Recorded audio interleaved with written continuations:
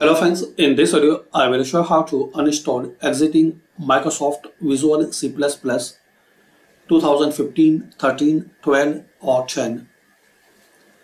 So very basic way to uninstall and to remove. You need to search control panel.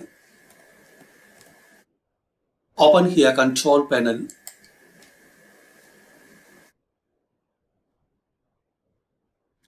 now select view by as category. Now here click on this uh, uninstall a program.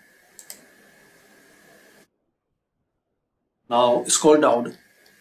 Here you will see all installed Microsoft Visual like 2010 12 13 15 or 17 so if you need to uninstall so select it then just click on uninstall. It will ask permissions so click on yes. Now here again click on uninstall. If you need reboot system you will see this dialog box. So just restart your system and try this process again.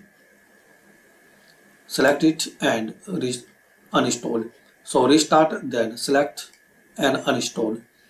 So this is the way guys you can uninstall Microsoft Visual C++ in Windows 10 and 11 and also this method will work in Windows 7 and 8 so thanks for watching and comment this method work for you or not